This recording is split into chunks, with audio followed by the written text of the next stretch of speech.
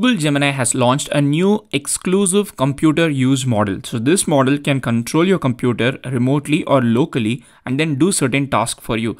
This is like the CUA model from OpenAI, which is for computer use. So all the agentic tasks that you want to do with a computer use model, you can do it with this particular model. So this is a dedicated model different from 2.5 Pro. So the model comes with some impressive benchmark numbers. One very important benchmark I was looking forward to see was OS World, but that was somehow not reported because it says it is not yet supported but on every other benchmark this model outperforms every other best model so for example claude sonnet 4.5 is one of the best agentic model in current environment and this model gemini 2.5 computer use the model that was launched a couple of days back is scoring extremely well when you compare it with Claude Sonnet 4.5. And there are like other models, including OpenAI's model, which is somehow there, CUA model, computer using agent model, and this model is much much better than even OpenAI model. So overall this model this is somehow a very good model for a lot of different computer use tasks.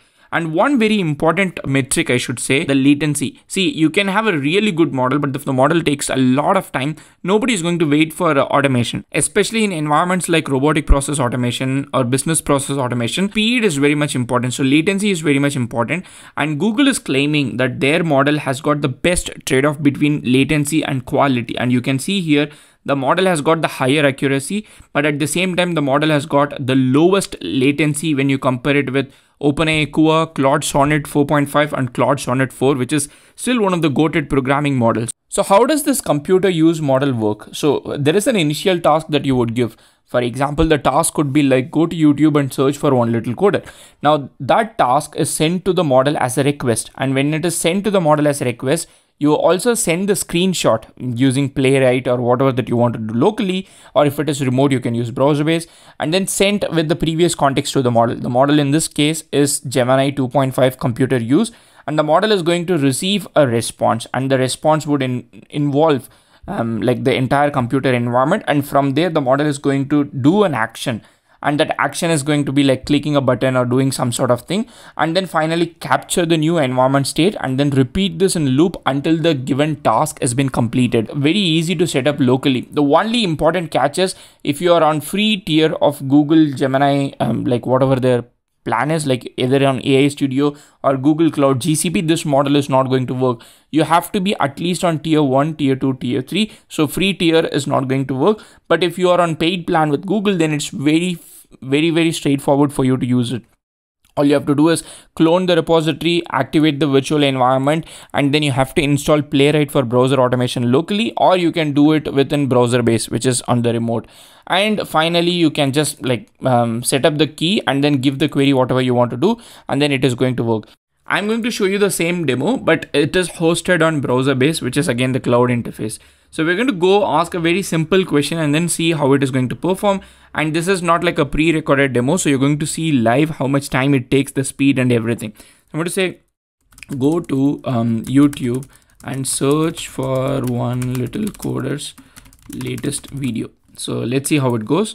So I've just given a very simple instruction. In this case, it has to only perform an action. It's not going to get any information or do some sort of browser emulation. And you can see on BrowserBase, you get like five uh, minutes for you to experiment. So first it goes to Google for some weird reason. Maybe the new tab is Google and you can see what kind of task it is doing here in the left hand side. So first it uh, did a tool call, opened the web browser and it didn't have to do any argument.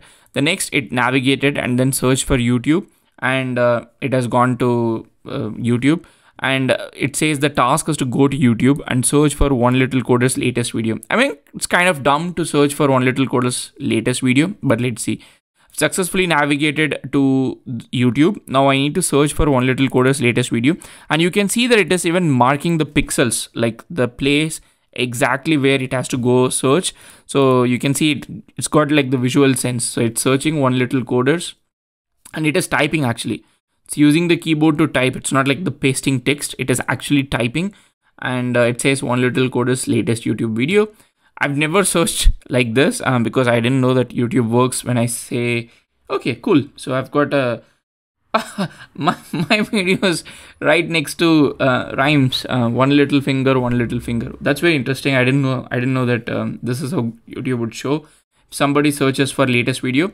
So now it realizes that I've done this and I will click on one little coder channel name and uh, I've successfully navigated to the YouTube channel and uh, for some reason it is going to shorts. I don't know why, but you get the point. So I'm going to stop the session here. I'm going to do one more last thing. So I'm going to go back here and uh, do the same thing. So we have uh, Gemini, we are going to restart and this time we are going to do something very, very simple. Go to Hacker News and pick the 10th article on the top trending page. So I want it to first go to Hacker News, which is I think pretty easy. But the main catch here is that it has to identify the 10th article from the top, uh, which is already numbered, and then it has to do that. I think whenever it opens the browser, Google shows up. So um, it's not entirely dumb to go to Google and then search for Hacker News. So first one, open the browser. Open the browser has been successfully done. Now it is going to search for Hacker News. I would have appreciated it if it had given the exact URL, um, like for Hacker News, news.ycombinator.com. But let's say that it's it's, it's just like trusting Google more. So it's searching for Hacker News, and uh, as you see, it's typing. And I'm not doing anything with my hands, or um, you know, I'm not I'm not trying to control anything. It's searching for Hacker News it got the hacker news result. So it's going to you can see that it is doing a tool action which is to click. So the tool call is to click art you can see all the tool calls. Open browser is a tool call type texted is a tool call. And whenever you see type texted it has the dimension like the pixel exactly where it has to type. And uh, you can see it evaluated the article. Is this the 10th article? I didn't even see. Uh, let, let me go back and then see. Um, it says 10th article that's very interesting. I didn't see if it was the 10th article. So let's open a new tab, private window, news combinator. And I'm going to see 10th one. Okay, Discord 70, say 70,000 users may have had their government IDs leaked in a breach. Okay, that's a very terrible article to say, but it exactly marked the 10th article and then clicked it for us and then it gives us the article. So as you can see, it's a very good model and the model seems to be really doing good. One thing that I found from one of the GitHub issues is that the model is extremely slow and uh, I don't know for what reason the model is slow. So there are like a couple of complaints that the execution is slow. So I hope that is just like normal complaints, not necessarily like production level complaints. But if you want use computer automation or RPA or BPA, then probably this is one of the good candidates that you can consider to automate your computer workflow both locally or remotely. So this is Gemini 2.5 computer use model not available on free tier. Let me know if you have got any questions see in another video. Happy prompting.